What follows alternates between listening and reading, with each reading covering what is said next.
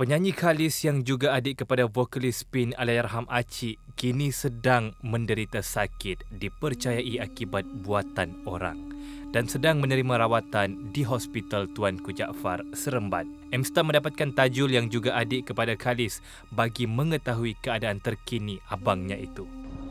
Kali sakit apa? Oh, dia sakit mana nak cakap eh? Boleh dikatakan uh, sakit yang serius lah.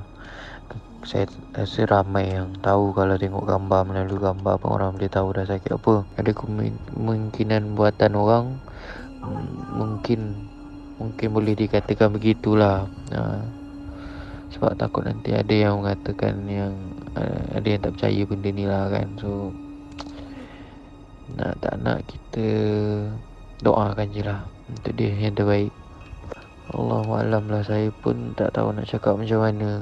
Uh, Dia sakit Sakit ni memang dah, dah lama daripada dulu lagi Tapi dia kuat semangat lawan lagi.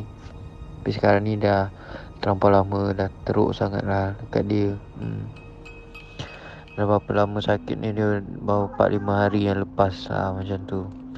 Uh, Hospital Seremban Dia dimasukkan malam tadi. Uh, Semalam baru dia masukkan. Keadaan sekarang macam mana? Amira sekarang ni keadaan dia dah makin okey sikit. Dah boleh bercakap sikit. Hmm, daripada sebelum ni tak boleh cakap langsung. Siapa yang jaga abang sekarang? Adik-adik tajul yang lain lah yang ada dekat seremban yang berdekatan dengan dia lah. Hmm, sebab tajul jauh kan tak boleh nak balik rentan negeri. InsyaAllah kalau dapat surat bolehlah balik. Doktor nasihatkan supaya dia berehat je lah. Hmm, Bagi dia rehat. Bagi dia rehat Jangan kacau dia dulu Biar dia ni masuk air apa semua.